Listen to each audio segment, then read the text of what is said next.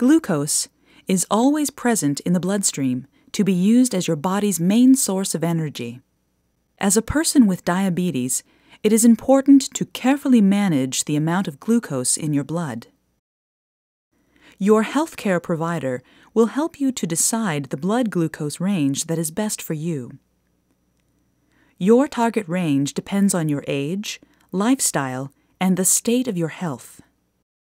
Your blood glucose level will fluctuate throughout the day, depending on your activity level and food consumption. Generally, your blood glucose level is lowest before a meal and peaks 1 to 2 hours after eating.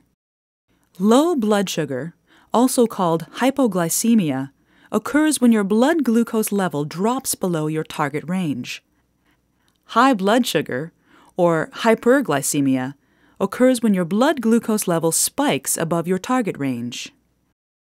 Inactivity, unhealthy eating habits, and poor adherence to prescribed medication can lead to a consistently high blood glucose level. Over time, high blood glucose can lead to serious health complications.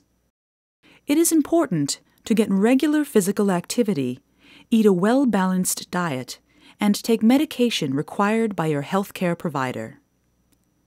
A healthy lifestyle will help you stay within your blood glucose target range and prevent or delay the complications of diabetes.